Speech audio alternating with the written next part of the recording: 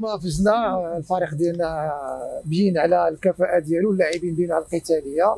وإن شاء الله اللقب يبقى دائما رجاوي واحد موفق للفريق والمكتب المسير والجميع وشكرا. محمد غير غير المقابلة ديال الرجاء أمام شباب المحمدية يعني ثارت العديد من الجدل قبل من لا هي هي مقابلة كجميع المقابلات. فريق آه، المحمدية كنكنوا لجميع الاحترام.